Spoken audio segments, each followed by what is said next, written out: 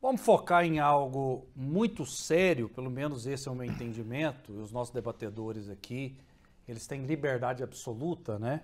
E graças a Deus nós somos respeitados pela esquerda, pela direita, pelo centro, em relação a queimar bandeira. Na Alemanha, por exemplo, é crime queimar bandeira estrangeira. Né? De repente queimam a bandeira de Israel e também dos Estados Unidos. Doutor Vinícius, qual a sua opinião sobre isso. Por gentileza, produção, coloque aí a cena no vídeo, né, da bandeira queimada para a gente fazer o debate aqui. Doutor Vinícius. Olha, antes desse ponto, eu queria consertar uma fala mentirosa do comunista e ateu de que o Stalin salvou a Alemanha. Doutor Vinícius, eu, eu só permito o senhor chamá-lo de ateu se ele admitir que é. Mas ele me chamou de fica... fascista, em nenhum momento eu, eu, eu também, falei nada ou ofendi quanto a isso. Eu também não admito é? isso, também não admito. O senhor é ateu? O debate não é esse. Não, ok. Quando o debate não vier, então, assume, então, então evite adjetivos, por gentileza. Comunista. Debate, tá evitem, okay, comunista. evitem, por gentileza, adjetivos. Comunista, ele é comunista, comunista. Então declarado. De comunista. Isso não ofende, não ofende o eu Eu só acho que ele tem que sair do armário. Mas, enfim, meu caro, meu caro okay. ou, ou, é, telespectador, naquela época, o, o Hitler fez uma, uma, um, um, acordo com Stalin de que não, agressão, um, um, não se agredirem. Stalin ficaria com suas repúblicas, com seu lado, enquanto Hitler avançaria para a Europa. Porém, o Hitler traiu o Stalin quando foi progredir para a Rússia, onde ele perdeu tentando invadir Moscou e não conseguiu. Então o que acontece? O comunismo dele, no começo, foi aliado do nazismo, aliado do fascismo. Porém, a vontade do Hitler em expandir traiu o Stalin. Não foi que o Stalin ficou mais de semana recluso no castelo dele, na Sibéria, querendo entender a traição que o Hitler, então companheiro, fez contra ele. Isso é história, não o que esse indivíduo conta ah, de forma lateral. Agora, quanto à bandeira de Israel, o que eu quero dizer aos senhores, naquela guerra. A diferença é como? Percebam que no dia 7, o Hamas, grupo esse defendido pelos comunistas, ele chegou ao amanhecer, estuprou mulheres, queimou crianças vivas, é, assassinou idosos, raptou outros e foi para matar, roubar e destruir. Este foi o objetivo dele. E não foi ali para agregar, para fazer política, para tentar buscar o seu Estado. Simplesmente destruir o povo de Israel. Enquanto Israel foi, e sempre lembrando, Israel nunca atacou, ela sempre contra-atacou. Quando Israel vai, vai contra-atacar a Palestina, ela avisa, ela manda bilhetes, ela manda áudios, ela comunica a região que vai atacar, justamente para falar para você civil, saia deste local, eu vou atacar, porque aí tem terrorista. O que, que acontece? As pessoas tentam fugir, mas o Hamas as impede. As impede. E vem a bomba, infelizmente ataca e, e, fere e mata vítimas inocentes do povo palestino. Então o que, que significa claramente? Enquanto Israel atinge por culpa, infelizmente mata pessoas, que isso é a guerra, é como se fosse tratar um câncer. O Hamas é o câncer e as células boas são os, os civis. Acaba que infelizmente mata. De outro lado, o Hamas, quando ataca Israel, mata todo mundo. Logo, é de forma dolosa, é intencional. Toda noite o Hamas e grupos terroristas apoiados pela esquerda atacam Israel por mísseis. Mísseis esses feitos de forma artesanal, retirando os canos, retirando o esgoto e água é, feito pelas Nações Unidas para o povo palestino fazendo armas eh, artesanais e, e, e, jogando de forma aleatória em Israel, atingindo qualquer local. Então, repito para vocês: enquanto Israel ataca alvos militares, os grupos terroristas apoiados pela esquerda brasileira atacam cidadãos civis de Israel. Esta é a diferença clara quanto a recentemente o hospital que foi atingido lá na Palestina. Inicialmente a mídia mundial falou que era Israel, deu aquele burburinho. Logo em seguida, perceberam e confirmaram que se tratava de um míssil dos terroristas que falhou e caiu no hospital. Mas não falaram nada. E outra coisa mais, os terroristas, eles, eles roubam as doações, seja comida, seja alimentos, estão no Dakar vivendo como reis. E outra coisa, a vocês perceberem bem, colocam seus lança-mísseis ao lado de hospitais, ao lado de escolas, ao lado de creches, ao lado inclusive da base da ONU, que eu vi uma foto por satélite. Então, logo quando Israel ataca, infelizmente chega nesses locais.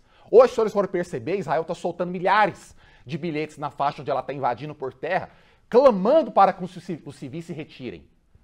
Enquanto o grupo que esse senhor e a ideia dele, a ideologia maléfica que ele representa, diz o contrário. Então percebam bem, quem de fato defende pessoas que, que, que possam ter união, possam viver juntas e construir um país em comum e quem de outro lado, mentindo que defende o povo palestino, que a bem da verdade, a destruição de Israel. Israel é essa, país onde mulher pode ser mulher, gay pode ser gay, quem você defende aborto pode abortar e é uma democracia, a única do Oriente Médio. Enquanto do lado de lá, gay não pode ser gay, mulher não pode ser mulher, aborto não pode ocorrer e não há democracia, porque se tratam de regimes totalitários, onde você, povo, não pode escolher aquele que melhor lhe represente. Doutor Eulerivo, eu queria que o senhor falasse sobre é, o fato específico da queima das bandeiras ali. Fala queima aí. da bandeira de Israel e dos Estados Unidos. Isso é certo? Isso é, é, é, é propagar a paz ou não? Isso é o mínimo que tem que fazer, mas eu vou falar sobre isso. Eu estou vendo aqui o seguinte, eu eu acho que o critério da verdade é a prática. E uma prática pública. O mínimo de me, todos. me preocupa. Qual, qual seria o máximo, eu não vou conversar se ele me interromper. Eu, por gentileza. Eu não interrompo. A fala, a fala agora é sua. colocar as estrelas de Davi nas eu casas não dos judeus interrompo. Doutor Vinícius, por gentileza, doutor Eu vou Vinícius. deixar aqui o microfone. A fala, a fala está Se o senhor me interromper, eu vou, ó, se, então vou seguir o... o se por gentileza, a fala é do senhor. Interrompo. A fala é do eu senhor. pode observar que eu não interrompo eu tenho a educação de não interromper o meu debatedor. Pois não. Eu... Então, e eu exijo respeito da parte dele, okay. certo? Esse senhor levanta o critério da verdade é a prática. Aqui qualquer pessoa pode chegar aqui e falar o que quiser, a papagaiada que quiser. Mas tem que ser uma prática comprovada publicamente. A história demonstrou que quem libertou os judeus dos campos de concentração foram nós, os comunistas os nossos exércitos comunistas que derrotaram Hitler. Isso é reconhecido no mundo inteiro. Depois, nós, comunistas, concordamos que lá em Israel, naquela região, deve ter dois estados: Palestina e Israel. E somos contra a política do governo de Israel de matar a população palestina sistematicamente para eles saírem de lá para só ficar eles Israel. Isso não haverá paz desse jeito. Não é correto isso. Os Estados Unidos estão apoiando Israel nessa política criminosa. A bomba que soltou a, o, o, é, o, Israel teve a coragem de soltar uma bomba, uma só bomba, em cima do hospital, lá na, na faixa de Gaza, matou mais de 500 pessoas. Aí Israel falou: não, não fomos nós, foram os terroristas. Uma televisão americana chamada CNN, auxiliada por satélite americano, descreveu onde veio o míssil, saiu de Israel e bombardeou o hospital. E escalaram a boca, porque não tinha como desmentir um caso desse. Nos últimos cinco dias, Israel tem matado mais de 10 mil pessoas em Gaza. Lá não tem água, eles fecharam toda, não existe água em Gaza. Não tem comida em Gaza. As famílias, onde ontem estava ouvindo, um médico levantando, as, as crianças morrendo de, de, de, de falta de, de, de, água no corpo, de desidratação. Isso é um crime contra a humanidade. Tem que parar com isso. Eu acho que o governo brasileiro deveria romper relações diplomáticas com Israel. Israel não tem nada de defender. É o Estado mais terrorista que tem no mundo, é o Estado de Israel. Falam do Hamas. Hamas, de fato, é uma organização que lutou contra a ocupação israelense, defende os palestinos e cometeu um ato terrorista. Já o Estado de Israel é um Estado terrorista, sistematicamente terrorista. Então, nós temos que compreender. Ali, como tem muitas muita discussões, tem que ter dois Estados. o Estado de Israel e o Estado da Palestina. Sobre a Por queima que das que o Israel, É o mínimo que tem que fazer queimar a bandeira de Israel. É o, o senhor mínimo, acha que tem que queimar a bandeira? É o mínimo. Pai, me permita olha, a palavra, é o, por favor. É o mínimo que tem que fazer, que deveria fazer, é queimar a bandeira. Só que eu acho que do, do Israel, só que eu acho. E dos Estados Unidos? Também. Mas claro, por quê, também, porque os Estados Unidos. Mas isso tá... não é um crime? Vê só porque que é? O Israel está jogando bomba. Sabe de onde vem a bomba? Estados Unidos. Estados Unidos leva a bomba e o exército Israel joga em cima do palestino. Somos contra os dois. Somos contra os Estados Unidos, somos contra Israel. Mas nesse é, caso. E, e para resolver o problema, só vai trazer a paz se Israel aceitar o que foi votado na, na, na ONU de criar dois estados. Ele tem que aceitar dois estados os palestinos aceitam o Israel. Israel não aceita a Palestina. Está matando os palestinos. Tem que ter dois estados ali. Ali só tem, Rafael, só tem um jeito de ter paz. Tem que ter dois estados. O Estado de Israel e o Estado da Palestina.